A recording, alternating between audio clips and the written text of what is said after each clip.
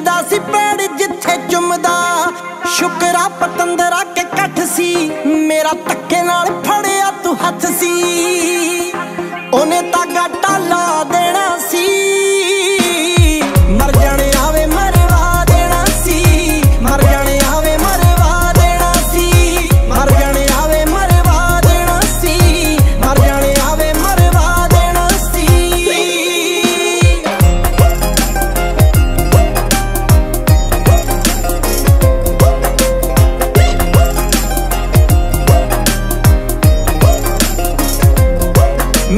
ਭਾਬੀ ਨਾ ਪਈ ਸੀ, ਲੱਗ ਜਾਣੀ ਸੀ ਵੈਸੂ ਤੇਰਾ 2 ਵਜੇ ਆਇਆ ਮੈਸੇਜ ਸੀ ਮਿਸ ਯੂ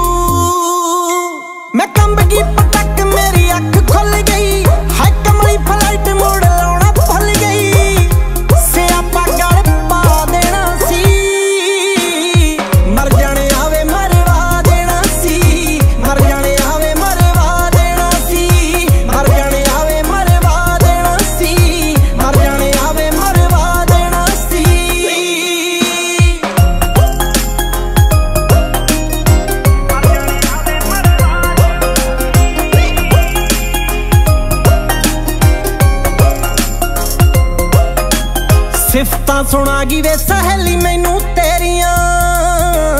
ਪੈਗ ਲਾ ਕੇ ਵਾਰਦਾ ਤਾਂ ਕਰਦਾ ਤੂੰ ਜਿਹੜੀਆਂ। ਮਾਰੇ ਲਲਕਾਰੇ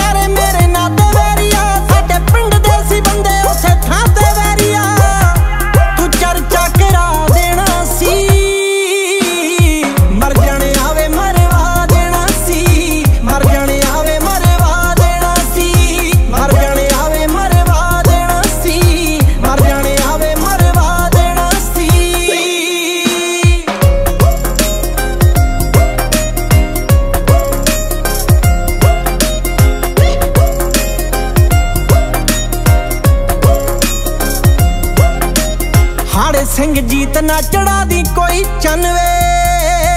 ਜੇ ਬਾਲਾ ਤੱਤਾ ਲੈ ਚਣ ਕੋਈਆਂ ਪਿੰਡੋਂ ਜਨਵੇ। ਤੈਨੂੰ ਕਿਸੇ ਦਾ ਜੇ ਪੜਿਆ ਵੇ ਖੌਫ ਨਹੀਂ